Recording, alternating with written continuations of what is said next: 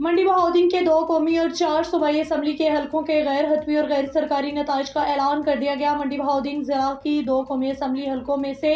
एक कौमी और दो सूबाई तहरीक इंसाफ ने जबकि एक कौमी और दो सूबाई मुस्लिम लीग नून ने हासिल कर ली। मंडी बहाउद्दीन जिला की दो कौमी असम्बली हलकों में से एक कौमी और दो सूबाई तहरीक इंसाफ ने, जबकि एक कौमी और दो सूबाई मुस्लिम लीग नून ने हासिल कर ली हैं। और जिसके मुताबिक मंडी बहाउद्दीन एक कौमी असम्बली अड़सठ से पाकिस्तान तहरीक इंसाफ के हमायत याफ्ता आज़ाद उम्मीदवार हाजी इम्तियाज़ अहमद चौधरी ने एक लाख छियासठ हज़ार तिरानवे वोट हासिल करके कामयाब करार पाए, जबकि इनके मदे मुकाबल मुस्लिम लीग नून के चौधरी मुशाहिद रजा गुजर सत्तर हज़ार नौ सौ छब्बीस वोटों के साथ हार गए। इस तरह पी पी चालीस ऐसी तहरीक इंसाफ की आज़ाद उम्मीदवार जरनाब शेर तारिक शाही ने बहत्तर हज़ार चार सौ साठ वोट लेकर कामयाबी हासिल की। इनके मदे मुकाबल मुस्लिम लीग नून की सबक सूबाई वज़ीर हमीदा वहीदुद्दीन छियालीस हज़ार तरतालीस वोट लेकर हार गई पी पी इकतालीस ऐसी चौधरी परवेज इलाही की भांजी तहरीक इंसाफ की आज़ाद उम्मीदवार। रियाज चौधरी सबक एम पी ए सत्तर हज़ार एक सौ